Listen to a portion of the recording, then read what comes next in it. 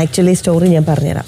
ധന്യനോട് പറഞ്ഞു രണ്ട് ദോശ ഉണ്ടാക്കി കൊടുക്കുമോ എന്ന് ചോദിച്ചു ലക്ഷ്മി ചേച്ചി.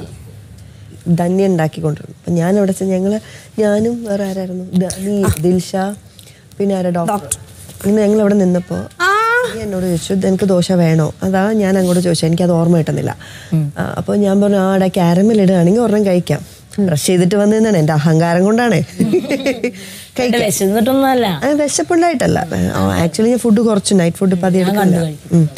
അപ്പോൾ അപ്പോൾ വേണോ കാരമൽ ഇടുകയാണെങ്കിൽ കഴിക്കാം എന്ന് പറഞ്ഞിട്ട് വന്നപ്പോഴത്തേക്കും ബാക്ക് ചെയ്യുന്ന ഒരു അനൗൺസ്മെന്റ് പഞ്ചസാര എടുക്കാൻ പറ്റില്ല.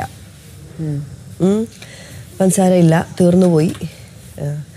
ആക്ച്വലി പഞ്ചസാര ഡപ്പയിൽ പഞ്ചസാര ഉണ്ട്. പിന്നെ വലിയ ബാസ്ക്കറ്റിൽ പഞ്ചസാര ഉണ്ട്.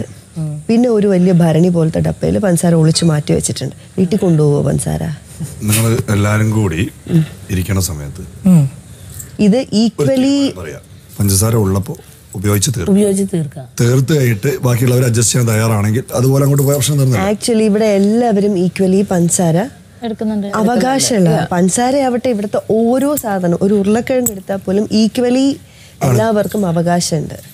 അത് ആർക്കും സേവ് ചെയ്ത് വെക്കാനോ ആർക്കും എടുത്ത് മാറ്റി വെക്കാനോ നോ പെർമിഷൻ എന്നാണ് എന്റെ ഒരു കാഴ്ച. അതായത് കിച്ചൺ ടീമിന് അതെടുത്ത് ഒളിച്ചു വെക്കാം. ഇന്നത് കൊടുക്കരുത്. അങ്ങനെയൊന്നും ഇവിടെ പറഞ്ഞിട്ടുള്ളതായിട്ട് എനിക്കറിയില്ല.